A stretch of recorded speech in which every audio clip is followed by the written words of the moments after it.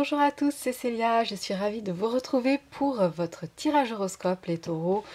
Aujourd'hui on se retrouve avec un tarot, un Lenormand, un oracle, le Chrysalis Tarot. Je vous mets la référence de ce jeu très beau et très coloré juste en dessous en barre d'infos. On utilisera le reflet de lune, le normand et le Sweet Lady. Ce sont deux jeux que j'ai créés. Donc pareil, je vous mets la référence juste en dessous en barre d'infos, mais vous les retrouvez que sur, euh, bah, que sur ma boutique, que sur mon site. Voilà. Je vous invite à compléter votre tirage en allant voir votre ascendant, votre signe lunaire, dès que je les aurai postés, bien sûr. Et on va commencer tout de suite. On va commencer avec une carte du tarot. Alors, je pousse un petit peu tout ça. Voilà. Alors, la carte du tarot. Pour vous, vous avez euh, la carte du chariot. Alors, la carte du chariot qui vous invite à euh, prendre les rênes de votre vie. voilà, c'est-à-dire que maintenant, il y a du mouvement, il y a du changement, il y a beaucoup d'évolution pour vous ce mois-ci. Euh, mais le changement va s'accompagner, en fait, pour aller dans la bonne direction, va s'accompagner aussi de, bien savoir vous aligner vous-même. Où est-ce que vous souhaitez aller? Comment vous souhaitez euh, mener votre barque Donc des questions qu'il faut se poser pour ne pas partir dans tous les sens. C'est un petit peu le risque avec le chariot, c'est de foncer de foncer, de se laisser entraîner. Or là, il est bien question en fait que c'est vous qui menez votre barque. Euh, le mouvement est là, le changement arrive, mais c'est à vous de donner la direction que vous souhaitez prendre. Donc avant, pensez bien à où vous souhaitez aller, ce que vous souhaitez mettre en place dans votre vie, et vous allez voir que les énergies qui sont autour de vous ce mois-ci vont vous accompagner et ça va être très fluide si vous donnez cette direction. Voilà, donc ne vous laissez pas emporter, hein. prenez quand même le temps de la, de la réflexion avant de vous lancer, mais ce mois-ci, lancez-vous, lancez-vous en toute conscience. Alors, alors pour votre première semaine, les taureaux, nous allons avoir la carte de la montagne, et la carte de la croix. Donc on a euh, des difficultés, des difficultés euh, que vous rencontrez pour cette première semaine, comme des retards, des choses qui sont euh, plus lourdes que prévu, plus difficiles à faire que prévu, que vous vivez comme un fardeau, comme quelque chose de difficile. Euh, mais c'est une carte, surtout avec la carte de la croix, qui vous invite à persévérer, à continuer, qui vous dit que le sommet n'est pas bien loin et que euh, ces efforts que vous mettez en place ne sont pas mis en place pour rien, qu'il y a vraiment quelque chose à gagner, vraiment une fin qui se profile à l'horizon.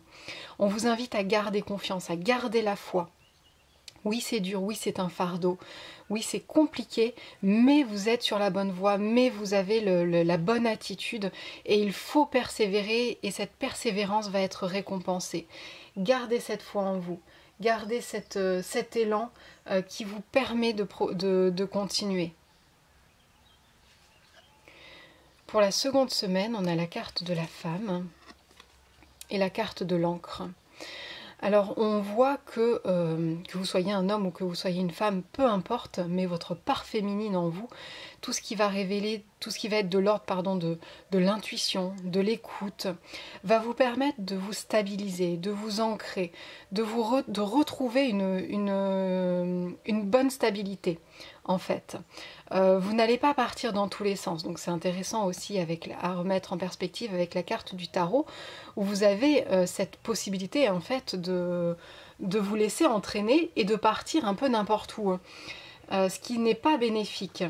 Et là, on voit, on vous invite justement à faire appel à toute votre intuition qui va être très présente pour cette seconde semaine pour vous permettre de vous donner une direction et surtout de garder un bon ancrage, les pieds bien sur terre et, euh, d'accentuer en fait cette force que vous avez en vous. la carte de, l'encre, euh, c'est une belle carte aussi de reliance. Quand on pense à une encre, on, on voit que euh, c'est elle qui maintient le bateau, mais elle part du coup en haut de l'air L'encre et la chaîne représentent le fer, donc représentent le feu. elle traverse l'eau pour aller se ficher dans la terre. Donc on a quelque chose de très équilibré parce qu'ici, avec cette carte, on a la réunion des quatre éléments. Donc on a non seulement une stabilité, mais on a quelque chose aussi qui va être très aligné. On se réaligne, on se reconnecte à toutes ses parts également. Et grâce à votre intuition, vous allez voir que ça va être quelque chose qui va se faire avec beaucoup de fluidité. Il y a aussi beaucoup de compassion à avoir. Compassion envers vous-même, envers vous-même, envers les autres, mais déjà envers vous-même, pour vous permettre en fait d'avoir cette écoute intérieure qui va être propice aux bonnes, aux bonnes directions que vous allez prendre dans votre vie, aux bonnes décisions que vous allez pouvoir mettre en place.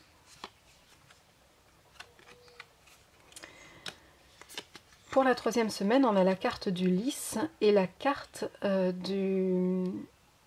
du, serpent.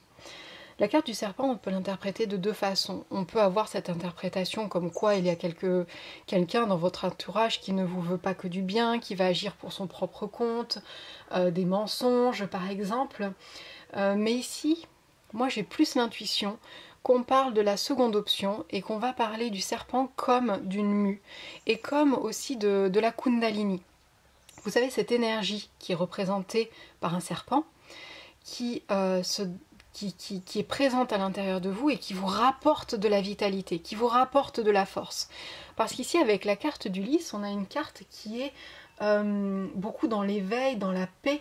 On a trouvé en fait une certaine maturité ici avec la carte du lys et on l'exploite avec la carte du serpent pour justement faire retrouver son énergie vitale. Moi j'ai vraiment l'impression ici qu'on va parler d'énergie vitale. Alors si vous connaissez le normand, vous allez peut-être interpréter euh, ce duo de façon complètement différente, mais là je laisse aller mon intuition et je pense vraiment qu'on est dans, un, dans une euh, restructuration de, la force vitale. Vous retrouvez votre énergie. Vous avez euh, réussi à avoir cette stabilité et maintenant votre énergie revient et vous vous sentez en paix avec vous-même.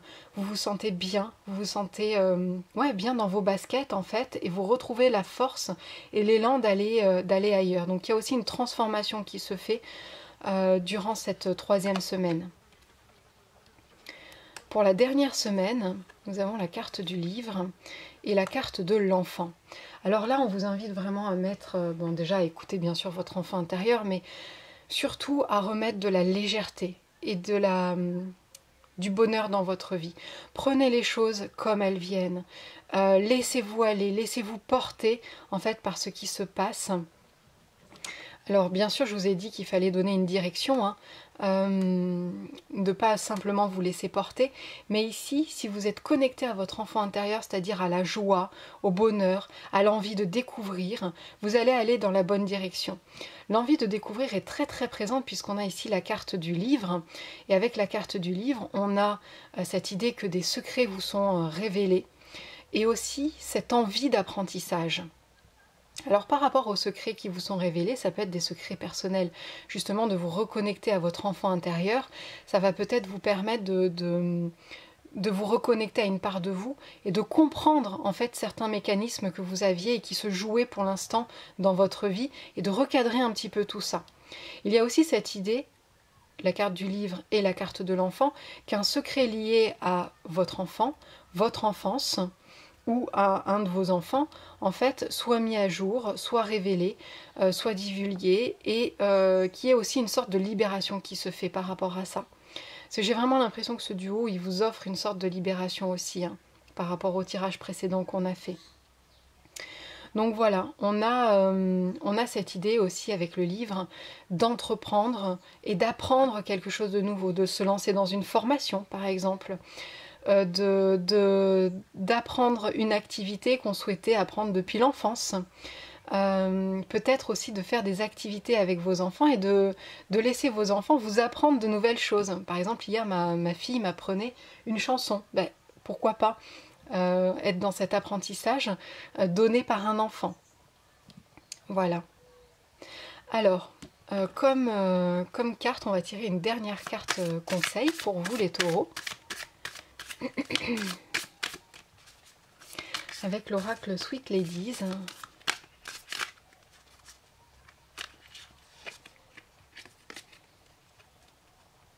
Ah, une chouette carte. Alors que sont en train de faire ces personnages? Que sont en train de faire ces personnes? C'est un oracle que j'aime beaucoup utiliser et que j'ai conçu pour être fait en tirage psychologique. Donc ce que je vous invite à faire, dans un premier temps, c'est à penser à la situation dans laquelle vous êtes, les réponses que vous aviez besoin d'entendre, de faire pause sur cette vidéo, de regarder cette image et euh, de répondre à cette question par écrit. Si cette carte me donnait un conseil pour résoudre mon problème, ma situation actuelle, qu'est-ce qu'il serait? Que serait ce conseil? Voilà. Maintenant, moi, je vais vous interpréter cette carte avec, euh, mon ressenti, avec mes mots. Et euh, avec euh, cette, carte, on voit les personnages qui sont en train de préparer une guirlande, de discuter. On voit qu'il y a quelque chose qui est en train de se faire, quelque chose qui se prépare. Et des fois, on trouve énormément, énormément de joie et même des fois plus à la préparation d'un événement qu'à vivre l'événement. Donc ici, on se met en condition, en fait. Donc on vous invite, en fait, à vous mettre déjà dans une condition, à vous conditionner dans, un élan de, joie, de célébration. Euh, on, est, on est dans l'anticipation, mais l'anticipation, dans, cette excitation d'anticipation.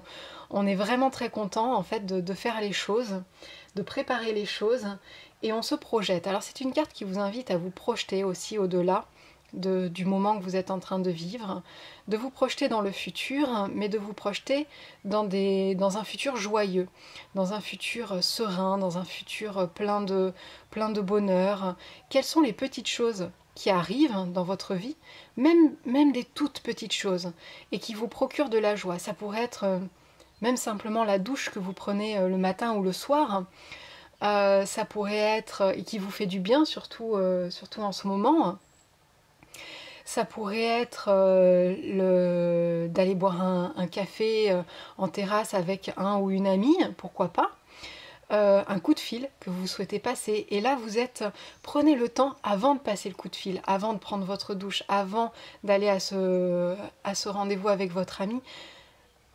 Prenez le temps de savourer cette anticipation de prendre, de vous dire oui, là ça va me procurer de la joie, je suis contente d'y aller, et plongez-vous dans cette émotion pour vraiment euh, en retirer tout le bénéfice possible.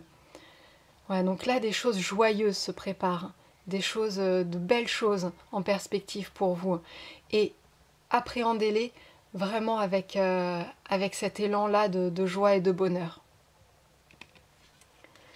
Voilà pour votre tirage les taureaux, j'espère qu'il vous aura parlé. Je vous souhaite une très très belle journée, une belle continuation et on se retrouve très bientôt pour d'autres tirages, d'autres vidéos. Bye bye